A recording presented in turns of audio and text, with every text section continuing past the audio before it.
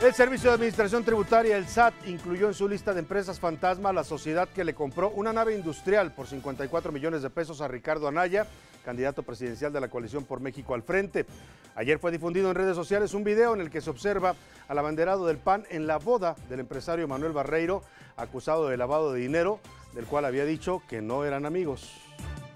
La Procuraduría de Justicia Capitalina ya cuenta con el retrato hablado del sujeto que el viernes pasado asesinó a dos hombres en Ciudad Universitaria. El rector de la UNAM, Enrique Graue, advirtió que pese al problema de inseguridad existente, no permitirá que fuerzas policíacas y militares entren al campus. Reconoce el C40 al jefe de gobierno Miguel Ángel Mancera por su trabajo en la lucha contra el cambio climático. Lleno asegurado para el Clásico Nacional, ya no hay boletos. Además, Tigres y Cholos por su boleto a cuartos de final en la Conca Champions. Ciudad TV 21.2, el canal de la Asamblea, presenta La ciudad y el mundo con Salvador García Soto.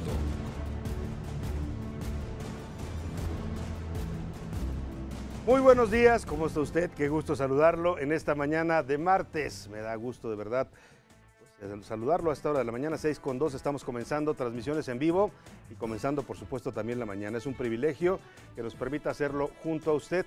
En las siguientes tres horas, todo un equipo le vamos a acompañar eh, con toda la información, las historias, los datos, las noticias, todo para que este día lo comience usted bien informado y con buena actitud a través de esta señal, el 21.2 Ciudad TV, el canal de la Asamblea, en este martes 27 de febrero de 2018, cuando son las 6.2 de la mañana.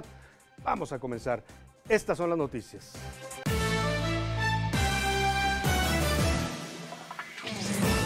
Descarta el procurador capitalino Edmundo Garrido que la riña registrada el pasado viernes al interior de Ciudad Universitaria esté relacionada con el cártel de Tláhuac. Según la Procuraduría, un expediente integrado por la PGR y las autoridades capitalinas revela que los responsables son el cártel de Tepito y una célula del crimen organizado que opera en Xochimilco, identificada como los Rodolfos. Mire, da igual quién sea, el asunto es que hagan algo para evitar esto que está pasando en Ciudad Universitaria. Y ambos refieren que estaban en el lugar de los hechos, que ambos eh, declaran ser consumidores, que en ese punto que lo conocen como el frontón, habían ido a comprar sustancias para consumir. Ellos se percatan que hay una, una riña, ahí se hacen de palabras, uno de los sujetos, que es el imputado que anda de fuga, y uno de los oxisos, y posteriormente el imputado que anda de fuga saca un arma y empieza a disparar, provocándole la muerte a uno de los individuos, el de 29 años de edad. Y no se permitirá que fuerzas policíacas y militares entren a Ciudad Universitaria. Esto lo advierte el rector de la UNAM, Enrique Graue, quien además aceptó que fue su instrucción proyectar el mensaje fuera narcos de la UNAM en la pantalla del Estadio Olímpico el domingo pasado. Bueno, el acercamiento ha sido, bien saben eh, pues, cercano y frecuente. De hecho, las detenciones ya son más de tres decenas de que se han venido haciendo. Y bueno, debe interpretarse los eventos del pasado viernes dentro de este, dentro de este contexto. No es una violencia entre universitarios. Y en este contexto asegura el comisionado nacional de seguridad Renato Sales que Ciudad Universitaria no es un feudo o un lugar ajeno a la investigación ministerial y policial. Pero lo que sí hay que hacer es investigar en relación con lo que aconteció la ciudad universitaria no viene a ser un feudo, no viene a ser un lugar aislado del derecho y la investigación ministerial y policial. Entonces yo creo que hay que trabajar en esclarecer estos homicidios y trabajar también para evitar el, el No hay esta petición. No, no, en este momento no existe, al contrario, lo que está solicitando el rector es precisamente que no se eh, vincule ninguna institución policial ni local bueno, y a todo esto, ¿qué dicen los estudiantes, que son el grupo principalmente afectado por esta violencia y por el fenómeno del narcotráfico en su universidad? Bueno, pues ellos expresan su rechazo a los hechos de violencia registrados en Ciudad Universitaria. Buscan abrir un debate con las autoridades de la máxima casa de estudios y crear una estrategia, piden, para salvaguardar el campus.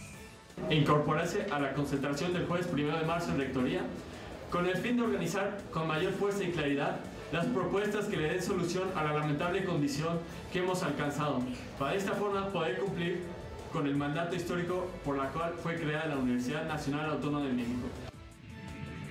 Y miren nada más, el Servicio de Administración Tributaria del SAT incluyó en su lista de empresas fantasmas a la sociedad que le compró una nave industrial por 54 millones de pesos a Ricardo Anaya, candidato presidencial de la coalición por México al frente.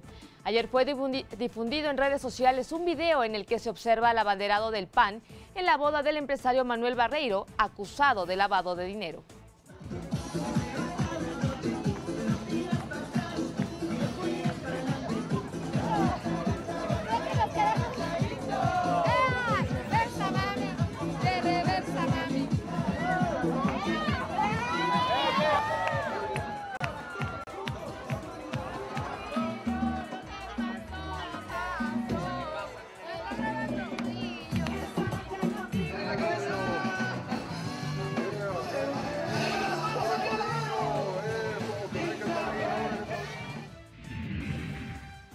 Anuncian las bancadas del PAN, PRD y Movimiento Ciudadano en la Cámara de Diputados que presentarán una solicitud de juicio político en contra del actual encargado de despacho de la PGR, Alberto Elías Beltrán. Lo acusan de utilizar la institución para dañar la imagen del candidato presidencial Ricardo Anaya. Oye, José Antonio Mit, candidato presidencial de la coalición Todos por México, presentó lo que llamó su equipo de campaña. Los nombramientos confirman a Aurelio Niño como coordinador general, a Erubiel Ávila como vicecoordinador, Vanessa Rubio sigue como coordinadora de la oficina del candidato y José Ramón Martel como coordinador de asesoría política. Aparecieron muchos otros, algunos de ellos colaboradores de MIT en varias dependencias. bueno, pues es el grupo con el que tratan también de ir al rescate del candidato priista. Ya habíamos visto a los dinosaurios, a los políticos que van a hacerse cargo de la campaña en el PRI. Estos son los que dicen van a buscar el voto de la sociedad civil en momentos en que la campaña priista sigue en tercer lugar en las encuestas. Denuncia la coalición por México al frente que el candidato presidencial del PRI, José Antonio Mit, tuvo responsabilidad directa en presuntos desvíos de cerca de 500 millones de pesos de la Secretaría de Desarrollo Social entre el 2015 y 2016. Nuevo León, el candidato presidencial de la coalición Juntos Haremos Historia, Andrés Manuel López Obrador, es un llamado a defender el voto el próximo primero de julio. Y tenemos que organizarnos bien y ganar con amplia ventaja para que no haya eh, controversia. Tenemos que ganar, como se dice en el fútbol, eh, por goliza, o como se dice en el béisbol, por paliza. Oiga, y dice el dicho que el que nada debe, nada teme. Bueno, pues el aspirante independiente a la presidencia, Pedro Ferriz de, de Con, demandó al INE, lo demandó por no revisar las firmas de los aspirantes independientes, tal y como lo ordenó el Tribunal Electoral. Dice Ferriz de Con, ¿qué quiere esconder el INE que no revisa las firmas de los aspirantes independientes? Y afirma el presidente de la Comisión Nacional de Derechos Humanos, Luis Raúl González, que el Estado mexicano ha fracasado en su función básica de proteger la vida de sus habitantes. Este entorno de inseguridad, violencia e impunidad que se vive, con especial gravedad en diversas regiones del país, es una expresión clara de que el Estado mexicano ha fracasado en su función básica de procurar la protección de la vida, integridad y bienes de quienes habitamos este país. Avanza en Italia la extradición del exgobernador de Tamaulipas, Tomás Yarrington, a los Estados Unidos. La sexta sección penal de la Corte Suprema determinó que subsisten condiciones para extraditar a la Unión Americana al exmandatario tamaulipeco. Oiga, y el C-40, que es un grupo que agrupa las capitales más habitadas del planeta, reconoció al jefe de gobierno Miguel Ángel Mancera por su trabajo en la lucha contra el cambio climático. C40, esta organización de carácter mundial, de carácter global, cada vez tiene más participación de la mujer en esta tarea de la lucha contra el cambio climático. Y presenta a la Asamblea Legislativa los resultados de la investigación denominada a cinco meses del sismo del 19 de septiembre. Ya estamos fuera de los tiempos y necesitamos ese censo. Entonces, creo que sí es muy importante eh, que, que, publiquen este censo de afectaciones y que a partir de este censo de afectaciones se haga este programa integral de la reconstrucción.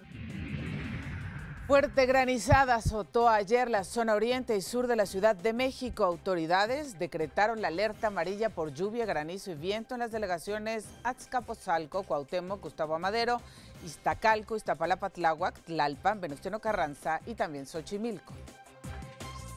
Oiga, y en el segundo día de la séptima ronda de renegociación del Tratado de Libre Comercio de América del Norte que se lleva a cabo aquí en México, pues se suspendieron temporalmente los trabajos, esto en la mesa de reglas de origen de la industria automotriz. El, representante incluso de los Estados Unidos se levantó de la mesa, dijo que iba a hacer consultas con su país y después de esto el presidente del Consejo Coordinador Empresarial, Juan Pablo Castañón, aseguró que a pesar de eso hay buenas expectativas para lograr avances importantes. Es el tema más complicado que le queda al TLC en estos momentos, el de la industria automotriz donde Estados Unidos quiere imponer reglas inaceptables para México que pues tienen que ver con las partes que integran un automóvil. Nosotros esperemos que se pueda lograr un avance. Creemos que tiene que ser, en, digamos, en combo en cuanto a estacionalidad, en cuanto a sunset y en cuanto a los capítulos que le mencioné sobre resolución de controversias y seguridad para las inversiones. 6 de la mañana con 12 minutos, está listo Oscar Mota y le damos los buenos días. Nos tiene su información deportiva en este espacio. Adelante, Oscar. Buenos días, Salvador. Muy buenos días. Selene, Carla, amigos de la ciudad del mundo, hoy un gran día para ganar. Mire, faltan cinco días para el Clásico Nacional entre Chivas y América y el rebaño sagrado anunció que ya no hay boletos disponibles para acudir al juego frente al América en el estadio Akron, allá en, en Guadalajara. Entonces, para que no se lo vayan a chamaquear, ya no hay boletos para el clásico que se va a disputar este sábado. Y mire, hoy ronda de Copa MX, seis partidos. Juegan los tiburones contra el Atlas, Murciélagos contra el Zacatepeco, Recaminos Monterrey, Santos Mineros, Morelia Querétaro, además del Atlético San Luis contra el Pachuca. El día de ayer terminó la jornada número 8 de la Liga Femenil. Ahí están los resultados 1 a 1 en el Toluca América, buen empate, Pachuca 0 a 0 Veracruz, Tigres 4 a 0 a Necaxa Tigres Femenil, León perdió 4 a 2 ante Monterrey y Santos 2 a 0 Atlas. Vamos a ver uno de los goles del día de ayer. Fue el que hizo Kenia Telles del Toluca, con el que fue el gol del empate. Vean la definición de Kenia Telles. Qué golazo, mamá. Soy Kenita. Bueno, con, con la pierna izquierda. Minuto 88 se acababa el partido y de esta manera es el empate de las Diablas del Toluca para el día de hoy. Mire, la CONCACAF informó también a partir de su edición 2019, la Copa Oro aumentará de 12 a 16 países participantes, además de que se analiza la posibilidad de que se disputen partidos fuera de los Estados Unidos. Y hablando de CONCACAF, hoy la CONCA Champions, así es, Tigres y Cholos. Los Tigres llegan con un 2 a 2 ahí en el global, mientras que los Cholos con un 1 a 0. En este caso los mexicanos tienen ventaja, como se dice popularmente, llevan mano en estas eliminatorias en básquetbol. La selección mexicana de básquetbol venció 75-52 a Cuba y avanzó a la siguiente ronda en la eliminatoria para el Mundial de China 2019. Y finalmente en la Fórmula 1, el piloto español de eh, McLaren, Fernando Alonso, se subió al MCL 33 y tuvo que abandonar la práctica en España tras 10 minutos en el coche, ya que mire en este momento